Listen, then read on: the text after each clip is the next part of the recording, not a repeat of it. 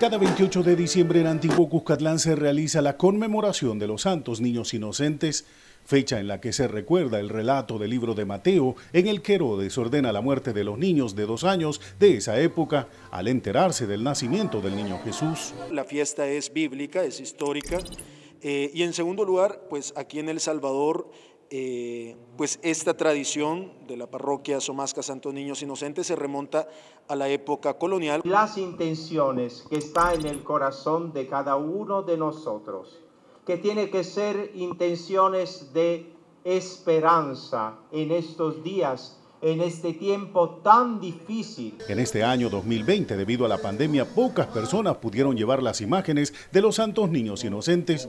Doña Daisy Rivera llegó a Antiguo Cuscatlán y asegura que lo hace en agradecimiento por los milagros recibidos.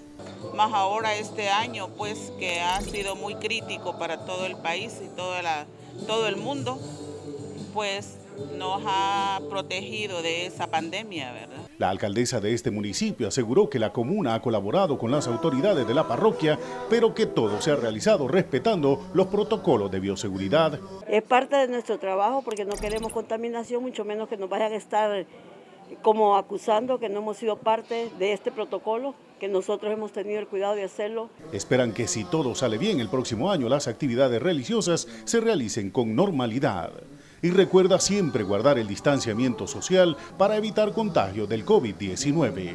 William Aguilar, Telenoticia 21.